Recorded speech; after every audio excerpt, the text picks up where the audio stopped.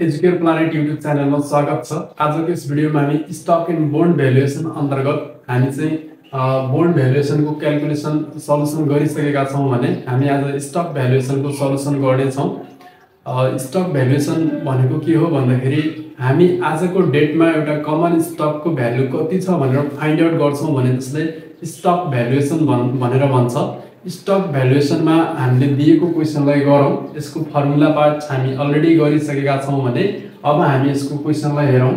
You're given the following information current share dividend per share is rupees twelve भन्छ। Current year भन्छ त्यसपछि last year भन्छ भने past year भन्छ भने त्यो डी जिरो हुन्छ र फ्युचर टेन्समा छ भने एक्सपेक्टेड डिभिडेन्ड भन्छ फ्युचर डिभिडेन्ड भन्छ भने त्यो डिमान्ड हुन्छ। सो हामीलाई यसमा चाहिँ के दिएको छ भन्दाखेरि डी जिरो दिएको छ। Investor required rate of return भनेको हामीलाई दिएको छ केएस फिफ्टिन पर्सेन्ट त्यसपछि calculate the value of stock under एमा रहेको छ dividend remains constant forever यसमा चाहिँ डिभिडेन्ड चाहिँ के हुँदैन त बढ्दैन ग्रो हुँदैन। सधैँ एक नाशको भइरहेको छ। यस्तो खालको डिभिडेन्डलाई के भन्छ त हाम्रो जिरो ग्रोथ डिभिडेन्ड भनेर भन्छ जिरो ग्रोथ मोडेल भनेर भन्छ। सो दुई नम्बरमा छ dividend is expected to grow at a constant rate of five percent per year at for year forever भनेको छ। फर एभर कन्सटेन्ट रेट भन्छ भने यो कन्सटेन्ट ग्रोथ मोडेल हो। त्यसपछि dividend is expected to decline at a constant rate of five percent per year भनेको छ। डिक्लाइनको ठाउँमा हामीले ग्रोथ रेट लेख्दाखेरि minus zero point zero five अथवा फाइभ पर्सेन्ट लेख्नुपर्ने हुन्छ। अब लागौँ हामी यसको सल्युसनतर्फ। एट फर्स्ट दिएको कुरालाई सारौँ। सल्युसनमा हामीलाई दिएको छ current year dividend D zero equal to दिएको छ रुपिस टुवेल्भ त्यसपछि हामीलाई दिएको छ required rate of return required rate return KS equal to हाम्रो दिएको छ फिफ्टिन पर्सेन्ट अर डेसिमलमा जिरो पोइन्ट वान फाइभ हुन्छ। सो यसमा हामी रिक्वायर्ड रिटर्न रेट अफ रिटर्नलाई केएस लेख्छौँ भने जुन चाहिँ हाम्रो बोन्ड भ्यालुएसन थियो त्यसमा केडी लेख्ने चलन थियो। त्यसपछि हाम्रो ए नम्बरको लागि भनेको छ dividend constant dividends constant forever भनेको चाहिँ यसमा चाहिँ ग्रोथ रेट छैन जिरो ग्रोथ रेट हो यो जिरो ग्रोथ मोडल हो। So value of zero growth growth stock यसमा P zero equal to D zero यहाँनिर त्यसपछि केएस हुन्छ ग्रोथ रेट छैन। सो यहाँनिर डी जिरोको भ्यालु हेऱ्यौँ भने टुवेल्भ त्यसपछि केएस भनेको जिरो पोइन्ट वान फाइभ छ। यसलाई हामीले twelve divided by zero point one five गर्दाखेरि यहाँनिर रुपिज एट्टी आउँछ। त्यसपछि बी नम्बरमा जाउँ। Dividend expected to grow at a constant rate of five percent year forever भनेको छ। यसमा चाहिँ ग्रोथ रेट के छ त? बी बीमा growth rate G equal to five percent or zero point zero five लेख्न सकिन्छ। सो अब value of constant growth stock यसमा पी जिरो इक्वल टु हुने गर्छ हाम्रो पी जिरो छ सो यसमा चाहिँ डी वान हुन्छ divided by KS minus G हुन्छ हाम्रो। यसलाई डी वानलाई हामीले के लेख्न सकिन्छ? D zero one plus G पनि लेख्न सकिन्छ divided by KS minus G हुन्छ। सो यो फर्मुला रहेको छ। डी जिरोको ठाउँमा ट्रिबल रहेको छ त्यसपछि growth one plus G one plus G भनेको जिरो पोइन्ट जिरो फाइभ रहेको छ। केएस भनेको हाम्रो zero point one five minus G भनेको जिरो पोइन्ट जिरो फाइभ रहेको छ। यसरी यसलाई सल्युसन गऱ्यौँ भने हाम्रो भ्यालु कति आउँछ त? वान ट्वेन्टी सिक्स आउँछ।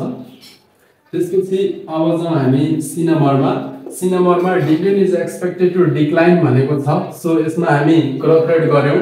प्लस राख्यौँ यसमा चाहिँ डिक्लाइन भन्छौँ सो माइनस राख्छौँ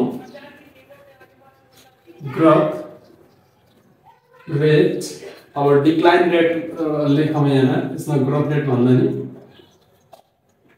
डिक्लाइन रेट यसमा डिक्लाइन रेट जी नै लेखौँ तर यहाँनिर हामी के गर्छौँ त minus five percent or zero point zero five लेख्छौँ सो यसमा पी जिरो इक्वल टु हुन्छ D one KS minus G अब यहाँनिर जीको ठाउँमा हामी के गर्छौँ minus zero point zero five राख्छौँ।